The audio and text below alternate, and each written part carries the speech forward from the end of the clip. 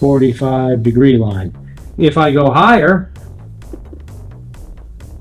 that's a terrible looking trajectory. If I go higher, the, the cannon will go higher in the air, but it will land shorter. Uh, if I go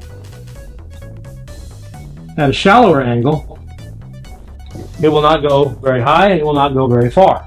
So the maximum angle that we can get is at 45 degrees. And that's neglecting air resistance. Thanks for watching. If you enjoyed this video, please hit the subscribe button and ring the notification bell so you never miss an update. Leave a comment below to help grow the channel, and don't forget to smash the like button.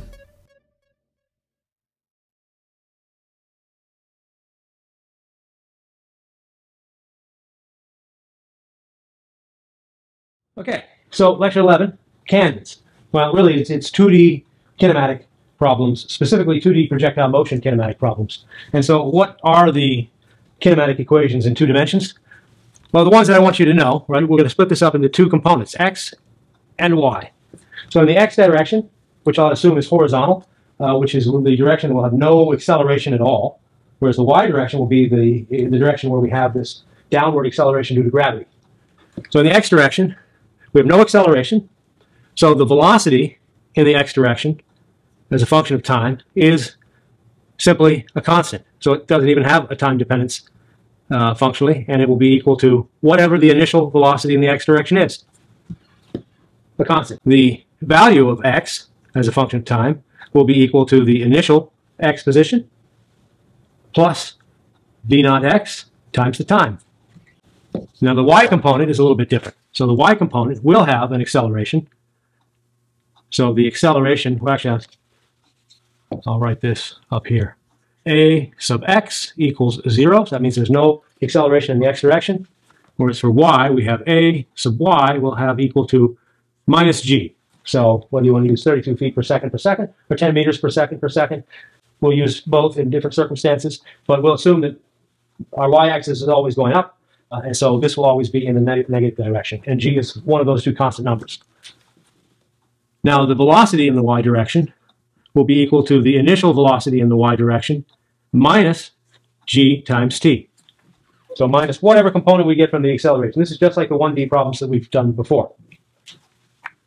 The position function, y, that's how high up we are uh, on the y-axis, will be equal to y naught plus v naught y times t.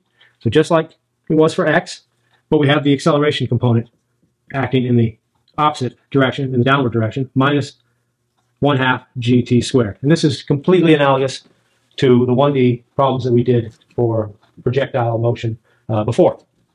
To really see how to use these, let's just do a simple problem, and we'll call this a cannon problem, okay? And so what I'll do is I'll have my, my cannon, and I'm not going to worry about the height above the ground of the cannon itself.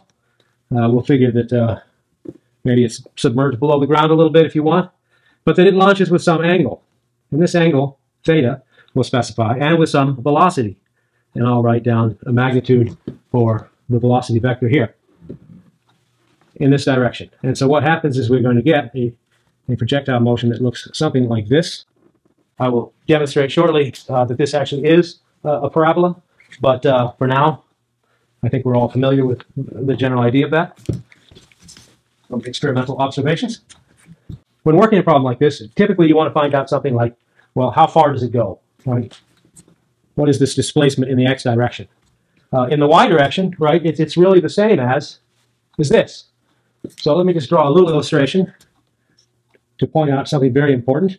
Uh, I could try and do it uh, manually here first. If I were to, let's see, I've done this before, but how do I, oh, here's how I do it. I'm going to flick this vertically and uh, drop this simultaneously. And if you listen carefully, you'll hear that they hit the ground at the same time. There's a little bit of double bounce there, but maybe we'll do it one more time. Try to get it nice and level. So, what does that mean exactly? Well, that means that if I have a ball which is kind of kicked over the side like this, and then I have another ball that's simply dropped at the same time. What we'll find is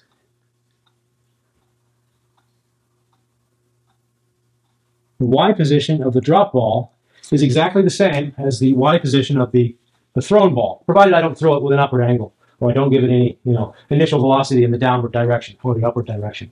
If it's a perfect, you know, push in the horizontal, uh, then this will work out exactly the same. So what does that mean exactly? So if I had a, a rifle and I was firing it perfectly level to the ground, and let's ignore the curvature of the earth, how long is it going to take for the bullet to hit the ground? Most people think, oh, maybe it's a few seconds or something like that. And that's, it's just simply not the case. This is exactly how long it takes to hit the ground. If you listen, uh, you'll, you'll hear when it hits the ground. So I, I fire. That's how long it takes to hit the ground. As long as it takes for you to drop a pen from the same altitude as the muzzle of the rifle to the ground, that's how long it takes for the bullet to hit the ground. Because these two directions, the x and y directions, are completely independent. How do we solve problems like this? Well, how do we figure out how far it's going to go? Obviously, we want to know what x is. And we can let you know x naught be 0. Uh, and so that means that x of t is equal to v naught x times the time. Well, what is v naught x? Well, what we can do here to show that this is actually a parabola, I'm going to I'm going to solve for time here, so that I get that t is equal to x over v naught x. And I'm going to take that time value, and I'm going to substitute it into the equation for y. And so instead of y as a function of t, I'm going to get y as a function of x. Because wherever I see a t, I'm going to call y naught 0, by the way, uh, v naught y times t, but not t. I replace t with x over v naught x. So now I have the ratio of v naught y and v naught x. And then minus 1 half g times t squared. Well, t squared is x squared over v naught x squared. So I'm going to write this as 1 over 2 v naught x squared. And I'll put the g up here in the numerator uh, times x squared. And so if you look at that, this is the form of a parabola. So this is the x direction, this is the y direction. So this tells us that what we're looking at when we see a, projectile trajectory uh, is the shape of a parabola.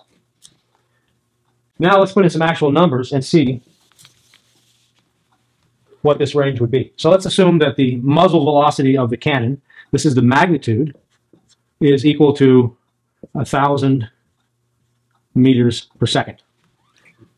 It's about what you get in, uh, you know, a, a standard long rifle. And the angle, let's use one of the angles that we've used already. Maybe we'll use 60 degrees. To get the range, we want to know what x is at the time at which it hits the ground. So we have to find that time. Once we found that time, we can simply substitute it into v naught x times t, which is going to be equal to 1,000 uh, times uh, the the x component will be the adjacent, so we use the cosine. Uh, the cosine of 60 degrees, uh, which is going to be 1 over 2. So that's going to be equal to 500. Terrible 0, 500. Um, times the time. Times the time. Forgot to put a t there. So 500 times the time. We need to know what the time is. Well, how do we figure out what the time is? And this is what you have to do in physics. You have to think about the problem and try to find a way to find the answer. So to find this time, it's the time it hits the ground. Well, how do we figure that? We can't just set y equals zero and say when does it hit the ground. Maybe instead we could do something like this. We could say, well, when is the velocity equal to zero? That could be useful. Well, the velocity is equal to zero at the top of its trajectory, right? That's the, the apex. So when it reaches the top of the trajectory, the velocity in the y direction is zero. So what is that time? This is the location here, right? Well, this occurs so v sub y equals 0, which is equal to v naught y minus gt. Well, v naught y is going to be, that says that 0 equals 1,000 times the sine of 60 degrees, 60 degrees, minus g times t. Well, 1,000 times the sine of 60 degrees, the sine of 60 degrees is the square root of 3 over 2, so this is going to be 500 times the square root of 3. Uh, g, since we did meters per second, we'll use 10 meters per second per second for gravity. So that'll be uh, minus 10 times t, and that's equal to 0. We can simply solve for t at this point. Doing so, we'll get that t is equal to 50 square root of 3. Just a, a little algebra there. I can now substitute that back in here and get my displacement. Uh, I'll write it like this. So x at the time 50 square root of 3 seconds is equal to 500 times 50 square root of 3. Uh, 5 times 5 is 25, so this should be 25,000. times the square root of 3. And the units, of course, will be meters. So it's about 25 kilometers, 25 square root of 3 kilometers. Um, so somewhere around 50 kilometers. All right. So we'll stop here and pick up in the next one. 12, I want to develop a, a, a general range equation. I, actually, I, like, I prefer to solve the problems independently, but I'm just going to show this range equation uh, formula. That way we can ask the question, what is the best angle, right, for our cannon to fire? So how do we proceed? Well, first thing we want to do is we're going to find, well, how long does it take for the cannonball to leave the cannon and then land on the ground in general? When last time we said, well, we need to know what the time is at the apex, right? So that is when v sub y is equal to 0, which is equal to v naught y minus g times t. So solving for this, we get that t is equal to v naught y over g. I think I made a mistake in, in, the, in the last cannon problem, and I, I should have doubled this time, because the time to hit the ground is actually twice this amount.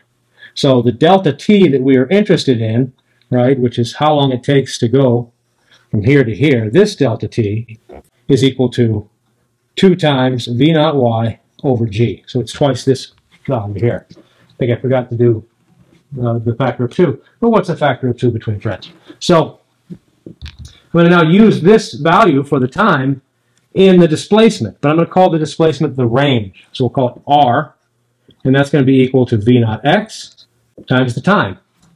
Well, I'm going to use for the time this delta t here. So this is equal to v naught x, 2 v naught x, v naught y, all over g.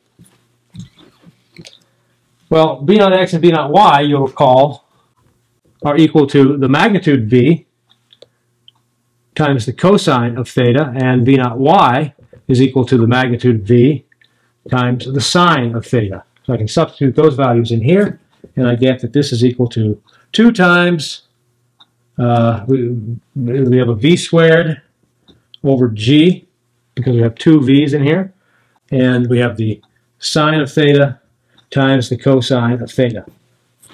And I think I alluded to this earlier, that we would use a trigonometric identity.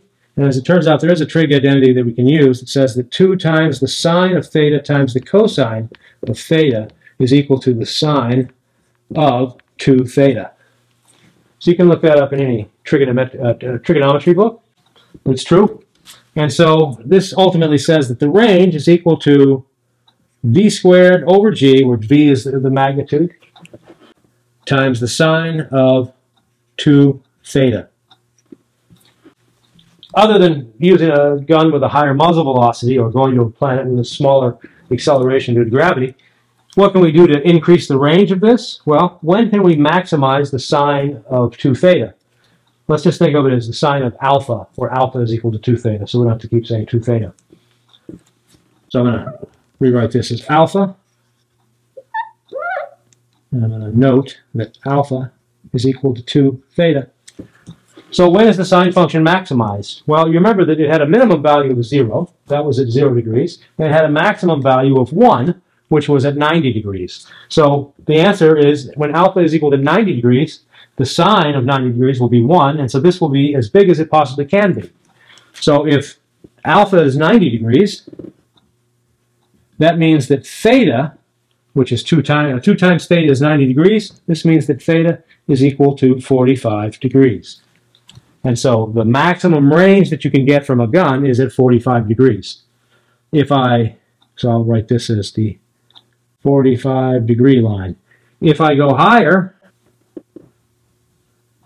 that's a terrible looking trajectory. If I go higher, the, the cannon will go higher in the air, but it will land shorter. Uh, if I go at a shallower angle, it will not go very high and it will not go very far. So the maximum angle that we can get is at 45 degrees. And that's neglecting air resistance. But we're not worried about that here. And so I think that's all I'm going to say about the 2D kinematics. There are plenty of problems to work on this, and some of these can, will be posted. I think that's all I'm going to talk about for 2D kinematics. The next thing we're going to cover is geometrical optics, because we haven't actually talked about any physics yet And I thought it would be nice to actually talk about some physics instead of just doing math. So that's what we'll be doing next time. Thank you.